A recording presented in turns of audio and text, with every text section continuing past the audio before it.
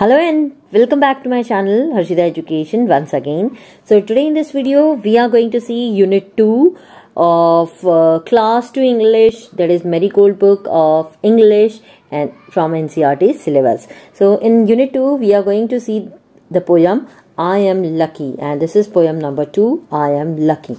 Okay so uh, we are going to recite plus I will tell you the explanation of this poem in Hindi plus uh, we'll see some difficult words which are coming in the poem. Okay, so let's start.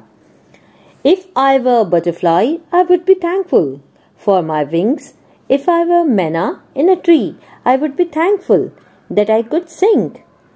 If I were a fish in the sea, I would be thankful that I can wriggle and giggle with glee. So here in this stanza, ये एक बच्चा जो है, वो अपनी बात बता रहा है चाहे वो क्या बता रहा है?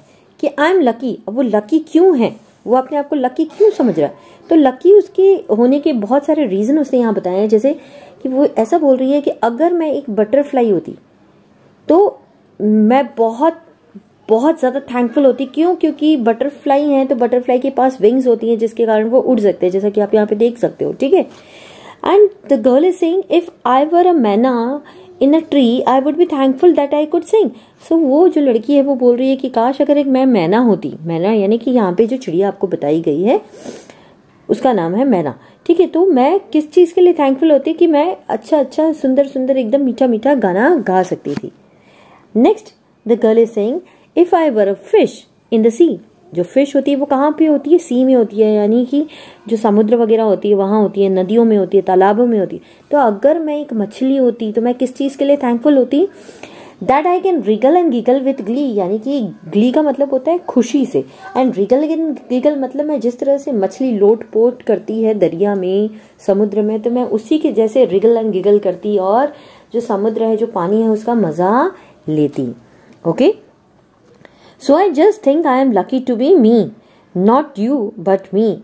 If I were an elephant. Now again the girl is saying कि I just think I am lucky to be me. अब वो क्यों बोल रही है कि मैं लकी हूँ क्योंकि मैं मैं हूँ नॉट यू मैं आप नहीं हो मैं और कोई नहीं हूँ मैं सिर्फ़ मैं हूँ again but she is saying that if I were an elephant वो क्या बोल रही है कि अगर मैं एक एलिफेंट होती एलिफेंट आप सभी ने देखा होगा।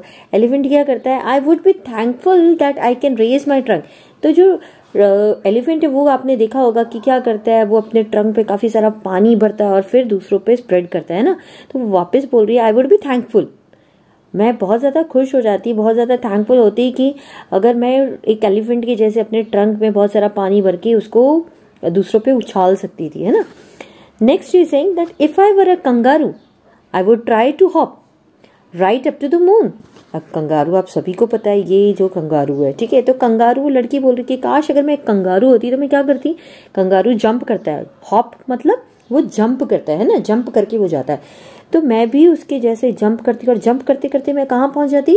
Right up to the moon यानी कि मैं एकदम चाँद तक पहुँच जाती कंगारू के जैसे जंप करते करते।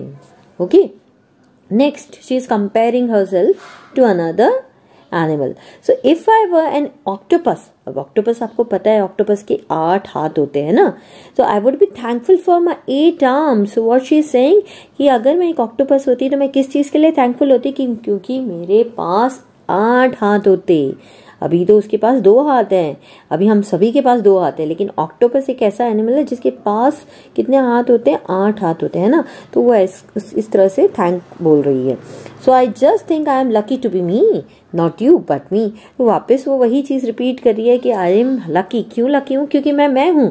नॉट यू मैं ना तुम हूँ. मैं सिर्फ़ मैं हूँ. What do you think you want to be do you want to be like me और just you just you so this girl is saying कि आप लोग क्या बनना चाहते हो? इस पोएम में काफ़ी सारे एनिमल्स काफ़ी सारे बर्ड्स इंसेक्ट्स इन सब के बारे में बातें हो रही हैं. तो जी ये लड़की है ये आपसे पूछ रही है कि आप किसके जैसे बनना चाहते हो? आप आप ही रहना चाहते हो या किसी और के जैसे बनना चाहते हो? हाँ?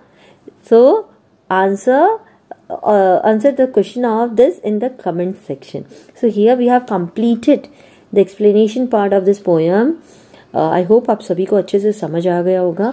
अगर uh, आपको अच्छे से समझ आ गया तो प्लीज़ वीडियो के नीचे लाइक के बटन को क्लिक करें और चैनल को सब्सक्राइब करना ना भूलें। Bye bye